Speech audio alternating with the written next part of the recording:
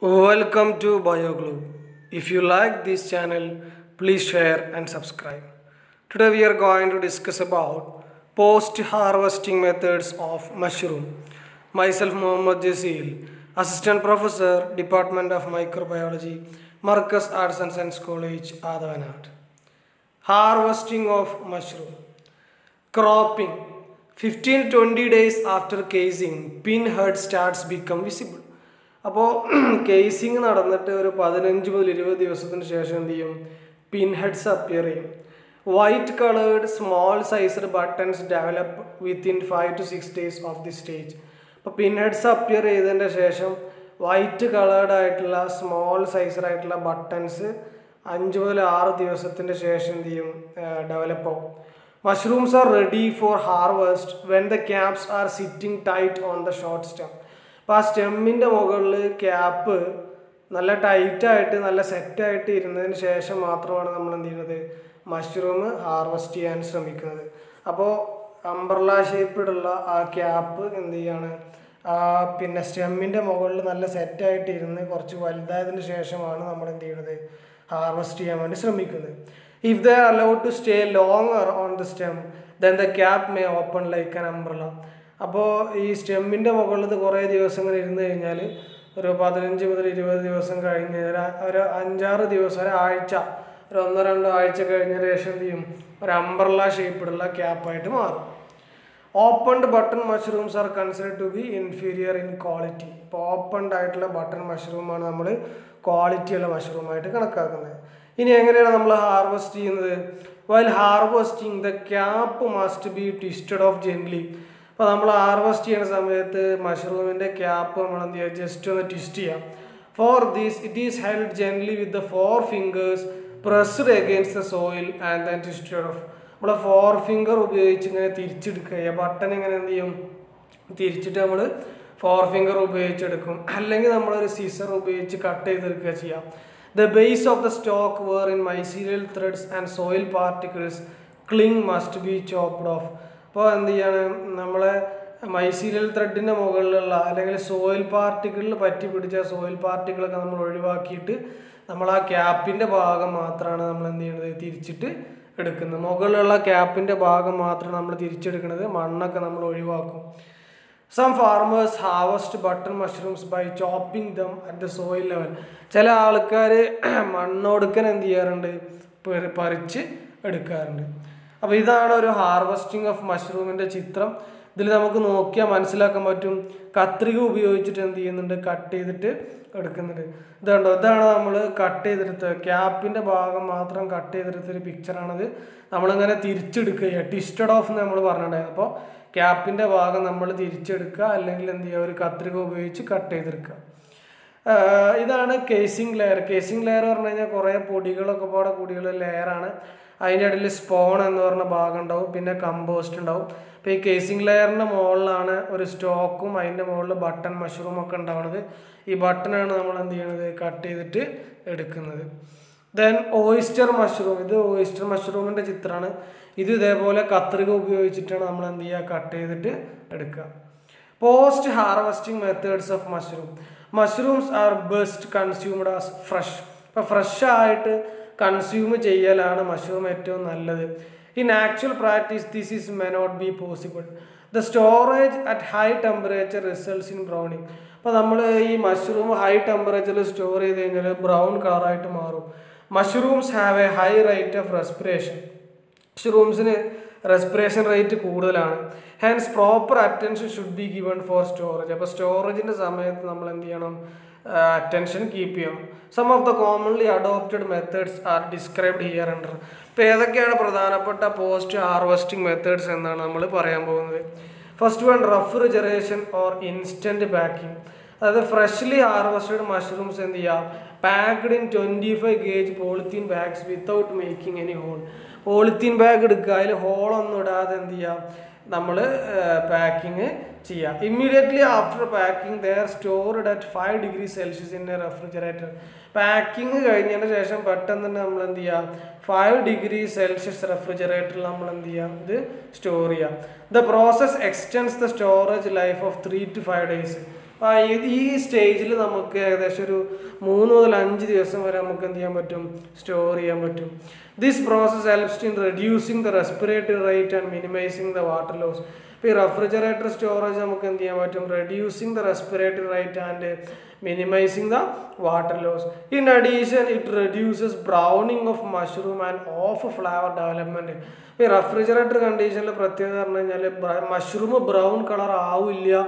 എന്ന് മാത്രമല്ല of flavour അതിന്റെ ടേസ്റ്റ് വ്യത്യാസം വരുന്നതിന് നമുക്ക് തടയാൻ പറ്റും.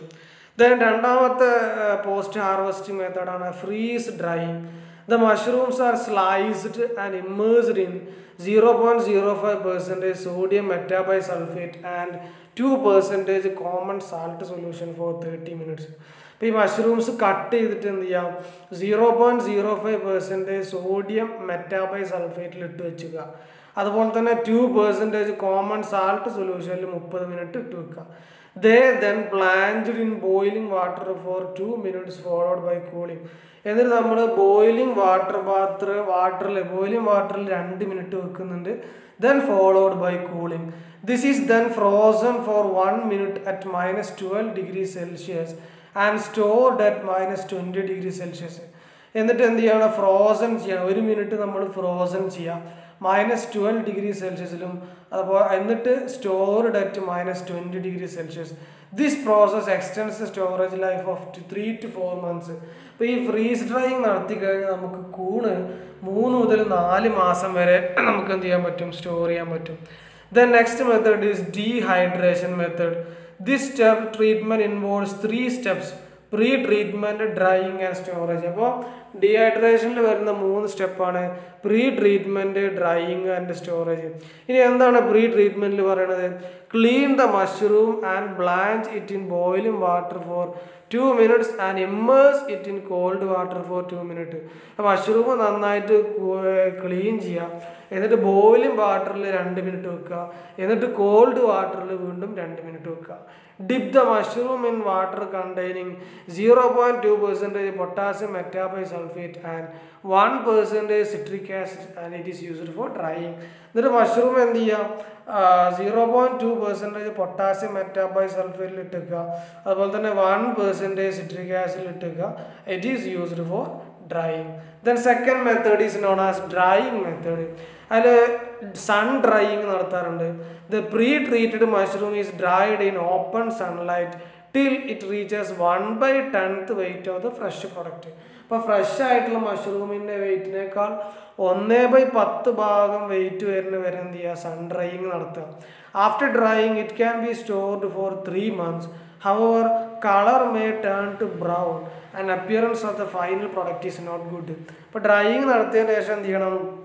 It can be stored for three months മൂന്ന് മാസം വരെ നമുക്ക് എന്ത് ചെയ്യാൻ പറ്റും? സ്റ്റോർ ചെയ്യാൻ പറ്റും. However colour may turn to brown and appearance of the final product is not good then drying in flow dryer ഇനി അടുത്ത് നമ്മൾ നോക്കുന്നത് ഫ്ലോ ഡ്രയറിന്റെ സഹായത്തോടു കൂടി ഡ്രൈ ചെയ്യാണ്. Dry the pretreated mushroom at sixty degree Celsius with heated air for six to eight hours അതായത് pre treated ആയിട്ടുള്ള മഷ്റൂമിനെ നമ്മൾ അറുപത് ഡിഗ്രി സെൽഷ്യസിൽ ഹീറ്റഡ് എയറിൽ വെക്കുക. എത്ര മണിക്കൂർ six to eight hour this process lead to bring the final moisture level to three to five percentage അപ്പോൾ three to five percentage moisture level വരെ ആക്കാൻ എന്തുകൊണ്ട് പറ്റും? ഡ്രൈയിങ് ഇൻ ഫ്ലോ ഡ്രയർ ഉപയോഗിച്ച് പറ്റും. ദ നെക്സ്റ്റ് ഡ്രൈയിങ് മെത്തേഡാണ് vacuum drying the pretreated mushroom at forty degree Celsius under vacuum condition instantly. This process yield a very good quality mushroom but cost of processing is heavy പക്ഷെ vacuum drying നടത്തി കഴിഞ്ഞാൽ നമുക്ക് quality ഉള്ള mushroom കിട്ടും. പക്ഷേ എന്താണ്? ഇത് yield മറ്റേ എന്താ പറയുക ഇത് ചെലവ് കൂടിയ ഒരു സംഭവമായിട്ടാണ് മനസ്സിലാക്കുന്നത്. Then last method canning method post harvesting മെത്തേഡിൽ നാലാമത്തെ മെത്തേഡാണ് ക്യാനിങ് മെത്തേഡ് ക്യാനിങ് എന്ന് പറഞ്ഞു കഴിഞ്ഞാൽ പാക്കിംഗ് എന്നാണ് ഉദ്ദേശിക്കുന്നത്. Especially for preservation of button mushrooms button മഷ്റൂംസിനെ preserve ചെയ്യാൻ വേണ്ടിയിട്ടാണ് നമ്മൾ ക്യാനിങ് ഉപയോഗിക്കുന്നത് for canning purpose the mushroom should be harvested at in early stage early സ്റ്റേജിൽ തന്നെ മഷ്റൂംസ് ഹാർവസ്റ്റ് ചെയ്യണം. The mushrooms of uniform size are selected and stalks are cut before processing. ഇപ്പോൾ uniform സൈസിലുള്ള mushroom select ചെയ്യുക. എന്നിട്ട് അതിന്റെ സ്റ്റോക്സിന് എന്ത് ചെയ്യുക? കട്ട് ചെയ്ത് ഒഴിവാക്കുക. What are the procedure for canning wash the mushroom in clean water to remove dirt and other foreign materials അപ്പോൾ മഷ്റൂം കട്ട് ചെയ്തെടുത്തതിന് ശേഷം ക്ലീൻ വാട്ടർ ഉപയോഗിച്ച് കഴുകി വൃത്തിയാക്കുക. അതിലുള്ള അഴുക്ക് മറ്റുള്ള ഫോറിൻ മെറ്റീരിയൽസ് ഒക്കെ ഒഴിവാക്കുക. Dip the mushroom in boiling water for two minute ഇനി ബോയിലിംഗ് വാട്ടറിൽ രണ്ട് മിനിറ്റ് മഷ്റൂം ഇട്ട് വെക്കുക. Take it out and dip in cold water for two minute എന്നിട്ട് രണ്ട് മിനിറ്റ് കഴിഞ്ഞതിന് ശേഷം പിന്നീട് എന്ത് ചെയ്യുന്നുണ്ട്? കോൾഡ് വാട്ടറിൽ രണ്ട് മിനിറ്റ് വെക്കുന്നുണ്ട്. Fill the mushrooms in the specially made can up to three by four capacity എന്നിട്ട് എന്ത് ചെയ്യുക സ്പെഷ്യലി മെയ്ഡ് ക്യാൻസിന്റെ ആ ക്യാൻസിലാണ് മഷ്റൂംസ് നമ്മൾ എന്ത് ചെയ്യുന്നത്? ഫിൽ ചെയ്യുന്നത്. Approximately two twenty gram mushrooms are filled in one L B can ഒരു എൽ ബി ക്യാനിൽ ടു ട്വന്റി ഗ്രാം മഷ്റൂംസ് വരെ ഫില്ല് ചെയ്യാൻ പറ്റും.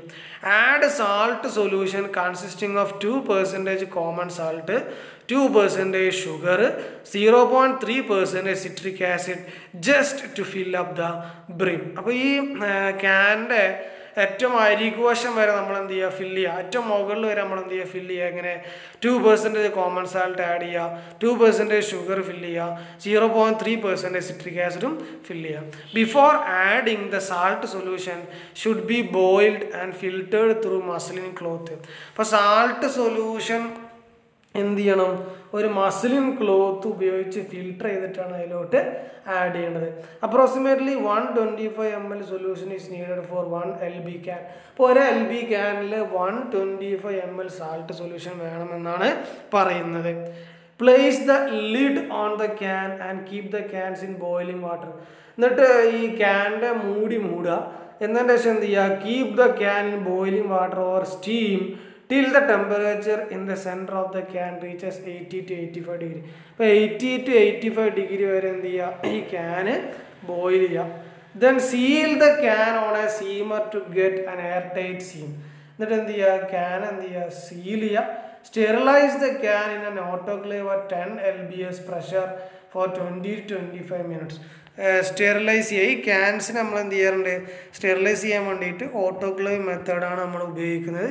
Pressure for twenty twenty five minutes keep the cans immediately after sterilisation in clean cool water for cooling എന്നിട്ട് എന്താ വെച്ച് ഈ can നമ്മൾ എന്ത് ചെയ്യുക സ്റ്റെറിലൈസേഷൻ കഴിഞ്ഞതിന് ശേഷം കൂൾ വാട്ടറിൽ വെച്ച് കൂൾ ചെയ്യുക wipe the can with a dry cloth and store in a cool dry place ഈ ക്യാനെ നമ്മൾ എന്ത് ചെയ്യുക ഡ്രൈ ക്ലോത്ത് ഉപയോഗിച്ച് കഴുകുക തുടച്ച് നമ്മൾ എന്ത് ചെയ്യുക ഡ്രൈ പ്ലേസിൽ സ്റ്റോർ ചെയ്യുക this process extends storage life up to twelve months ഈ പ്രക്രിയ ചെയ്ത് കഴിഞ്ഞാൽ നമുക്ക് ട്വൽവ് മന്ത്സ് വരെ എന്ത് ചെയ്യും?